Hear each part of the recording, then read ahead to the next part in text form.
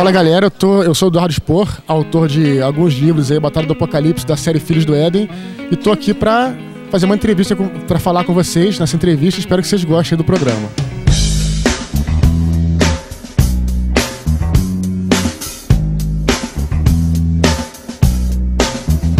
Eduardo, qual foi o papel da internet na tua carreira? Você para hoje, olha para trás e fala assim, não, foi muito importante. Afinal de contas, você vendeu quase 5 mil livros antes de lançar o primeiro, o Batalha do Apocalipse.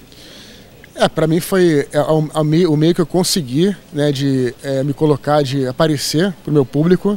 Engraçado, a, gente achava que a internet, quando ela chegou, as pessoas vão ler menos com a internet. Era o que se, era o que se falava.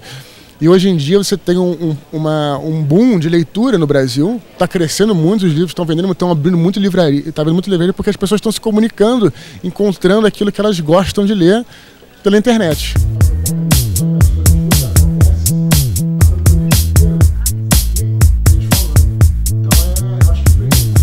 Falando em internet, você é colaborador do Jovem Nerd, que é um site que a galera adora. Como é que é essa história? Como é que começou? Qual que é a tua participação?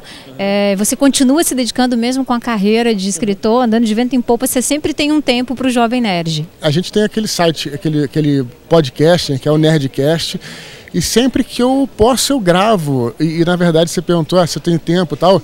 Eu sempre tenho tempo, né? Porque é uma coisa muito prazerosa. É uma, e acho que é isso que fez o próprio podcast se dar, é, aparecer e, e ser bem sucedido.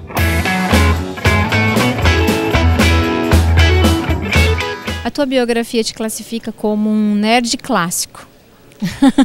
e a gente hoje vive um momento em que o, a palavra nerd, o estilo nerd, ficou muito popularizado. Uhum. Então eu quero pedir a sua ajuda hoje para a gente falar para a galera de casa qual é o que é um nerd clássico, porque os conceitos se misturaram muito. Não, acho que a gente é, costuma dizer que o nerd é todo aquele que é, é muito interessado no assunto. Então, às vezes, mesmo se o cara sabe escalar todas as é, cara, sei lá, é de um time, sabe escalar todas as seleções de todos os tempos. Ele é um nerd. É um nerd de futebol. Os nerds, assim, os mais clássicos são aqueles nerds que sabem tudo do Star Wars, do Star Trek, e aí sabe o nome das naves e coisa assim. Então, mais ou menos isso. Mas o nerd, em geral, é uma, é, a gente vê isso como uma coisa boa. É aquele cara que é interessado. O meu público hoje em dia está muito mais amplo, mas começou com os nerds, porque o cara quer saber mais, quer ler os livros, saber mais sobre de repente história, sobre quer aventura, mas quer um pouco mais também.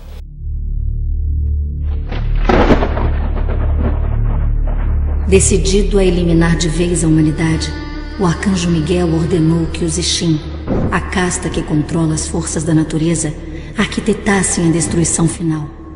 Submissos, eles derreteram as calotas polares e a terra foi inundada por um volumoso dilúvio. A Batalha do Apocalipse é um livro que abordou religião de, de, de uma forma fantasiosa, criando uma situação. Você recebeu alguma crítica? Como é que foi a reação da sua família? Não, por incrível que pareça, acho que todo mundo entendeu. É, eu sempre friso nessa, nessa, nessa tecla que é um livro de fantasia, né? Eu sempre falei isso, acho que nunca tive problema com nenhum leitor religioso, nem com nenhum leitor que não é religioso. Eu sempre frisei muito nisso, até porque é engraçado. É, eu não, eu não falo de religião, eu falo sobre é, mitologia, sobre é, mitologia grega, mitologia hebraica cristã. Eu não entro na religião, questão dogma, questão dogma da religião. Qual é a sua religião? Eu não tenho nenhuma religião. Eu, eu, me, eu, quando as pessoas me perguntam isso, eu sempre me, me, classifico como um cético.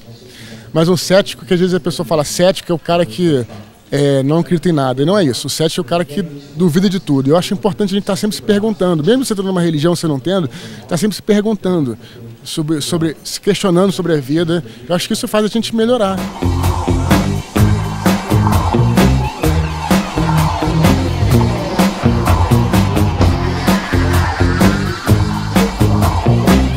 Para você sentir o clima, literalmente, né? Sentir o clima do local, é não o clima físico, mas as pessoas como elas tratam, coisas que as sensações você só pode sentir quando você está é, tá no local. Então é importante você viajar para isso.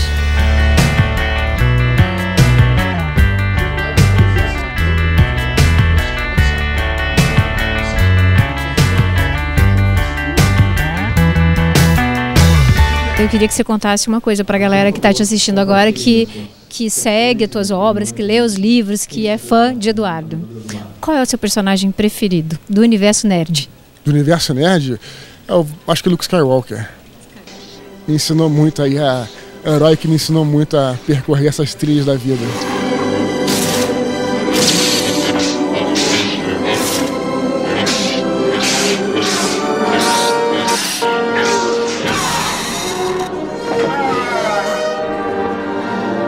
Ele é um herói que segue a trajetória eh, clássica dos heróis, né? E basicamente a, a trajetória dele é sim, é, tá diante do mal e resistir ao mal. E o mal existe na nossa vida, né? não como uma figura de Darth Vader, mas como coisas que acontecem sempre.